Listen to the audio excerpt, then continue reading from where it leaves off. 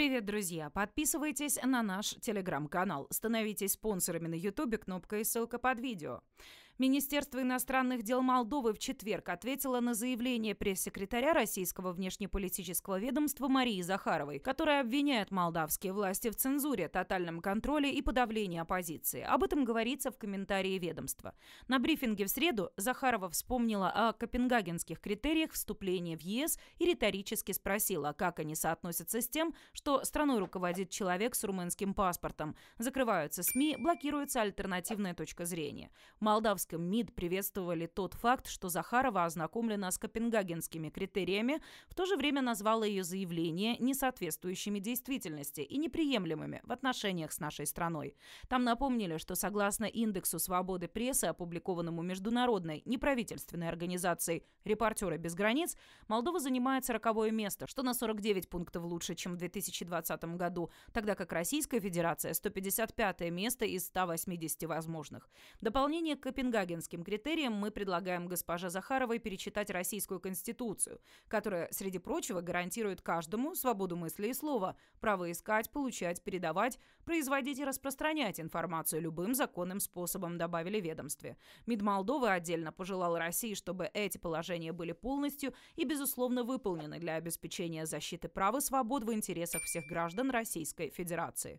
Российские представители не раз в хамской манере комментировали внутриполитические события в Молдове, утверждая, что там происходят антидемократические процессы. Среди последнего в МИД России возмущались осуждением Молдовы и российской агрессии против Украины и отменой молдавского языка. Однако ответ не заставил себя ждать. В Республике Молдова говорят на румынском языке, и ни одна страна не имеет морального, юридического и политического права комментировать это. Об этом заявил министр иностранных дел Нику Попеску. Мы возмущены возмущением Российской Федерации. Язык, на котором мы говорим, принадлежит нам. Решение о том, что мы называем этот язык, принадлежит нам, и абсолютно ни одна страна в мире не имеет морального, юридического и политического права комментировать эти вещи.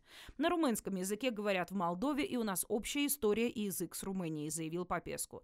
Напомним, премьер-министр Польши Матеуш Муравецкий считает маловероятным нападение России на Молдову. Об этом он заявил в четверг, отвечая на вопросы журналистов на совместной пресс-конференции с молдавским коллегой Дорином Речаном. Это маловероятно, потому что Украина сейчас борется за то, чтобы ни одна страна она больше не подверглась нападению.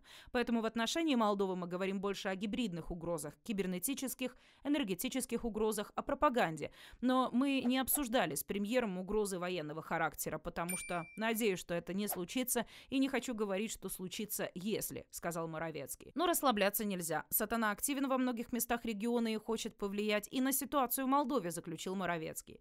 Также министр обороны Молдовы Анатолий Насатый считает, что стране не угрожает непосредственная военная опасность, в то же время она является объектом гибридной войны, которую ведет Россия с целью свержения государственной власти. Он пояснил, что Россия, порождая дезинформацию, напряженность внутри нашего общества, пытается изменить политический порядок, дестабилизировать и свергнуть государственную власть. На этом я с вами прощаюсь. Подписывайтесь на наш канал, жмите на колокольчик, а также не забудьте написать свое мнение в комментариях. Теперь газеты всегда с вами. До встречи.